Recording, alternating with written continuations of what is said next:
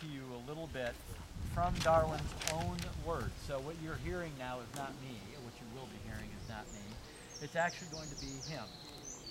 And I'll start out by saying, although he was somewhat of a sickly man for most of his adulthood, he is probably one of the luckiest men that has ever lived.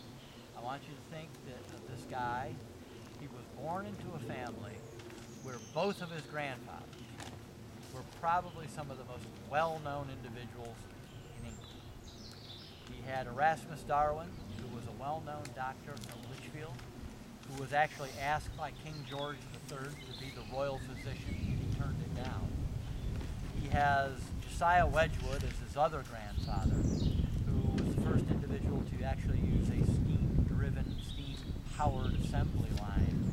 And so he came from wealth, he came from power, he was surrounded by a loving family, surrounded by individuals who supported him his whole life. His sisters took care of him.